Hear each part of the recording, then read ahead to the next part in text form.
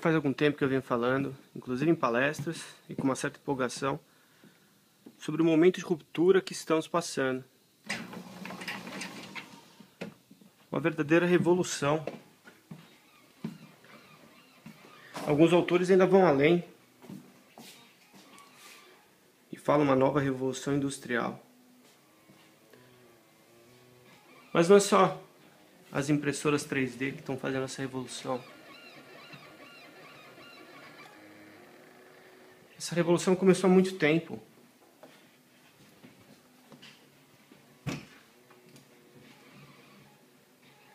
Com a revolução da informação, democratização da informação. Agora a gente está vivendo a democratização da tecnologia. É o, é o desenvolvimento colaborativo, crowdsourcing, as plataformas abertas, isso aqui é um exemplo Arduino. Aqui são alguns sites de crowdsourcing, crowdfunding. E aqui é, é um, um, exemplo de projeto colaborativo e democratização da tecnologia. Esse aqui é um iMovie, é um projeto para a construção de um humanoide. É uma, é, a intenção é a construção de um humanoide completo. Está sendo feito por pessoas do mundo todo.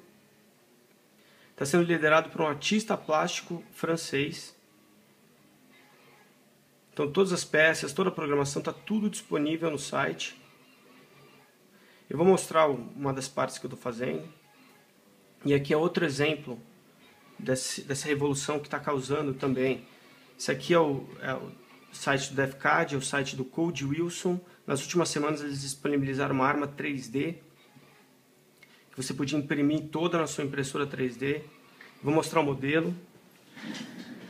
Esse aqui é o modelo da arma. Eu falo que é um modelo porque ela foi feita numa escala diferente. Ela não dá para servir como arma não tem todas as peças, que no Brasil você eh, fazer uma arma em casa é, crime.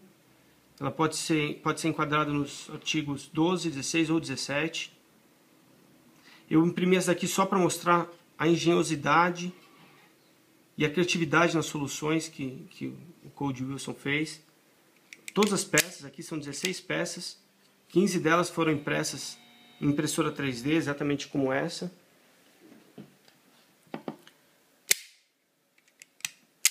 Até as molas, tudo, o sistema de gatilho, as molas, tudo dá para ser impresso na impressora 3D. Aqui mostrar o cano. O cano está fechado para não exatamente não caracterizar a arma, mas ele sai para você trocar de munição. Mas da mesma maneira que o desenvolvimento colaborativo e a democratização da tecnologia podem ser utilizados para fins destrutivos, na direção oposta, em força maior, vem o desenvolvimento para o bem. Eu vou dar um exemplo. São, por exemplo, o acesso à tecnologia pelos portadores de necessidade especial. Até então, as tecnologias eram pouco desenvolvidas e muito caras, porque é um nicho, o desenvolvimento é pequeno. Mas agora, com essa democratização da tecnologia e da informação, o acesso está ficando mais fácil. Eu vou mostrar alguns projetos aqui. Um deles foi um que eu desenvolvi, é o projeto Ver, esse aqui é o primeiro protótipo, foi feito em 2001, nossa senhora.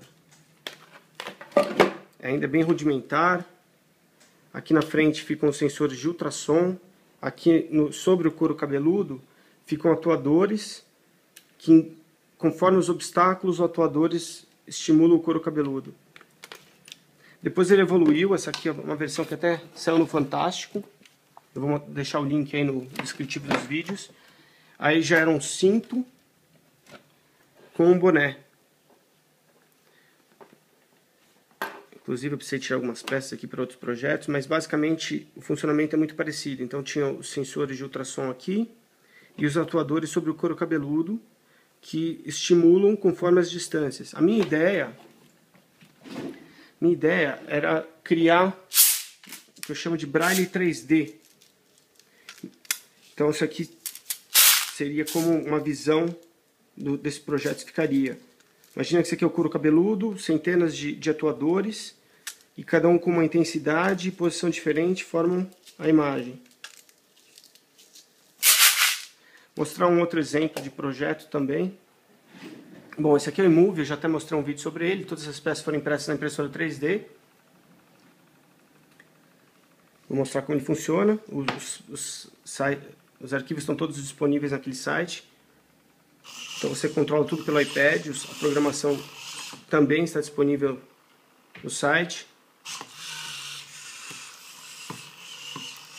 E uma prótese, uma mão biônica antes, que poderia custar 20 mil dólares, umas centenas de, de dólares você consegue montar esse protótipo. Esse aqui é um outro exemplo, é RoboHand. Esse site aqui é um site onde os, os desenhos em 3D ficam disponíveis, são gratuitos. Esse aqui é um, um exemplo de uma, uma mão mecânica para quem não tem dedo. Também está disponível gratuito para baixar, qualquer um pode imprimir na, na sua casa. Vou mostrar um vídeo aqui do funcionamento.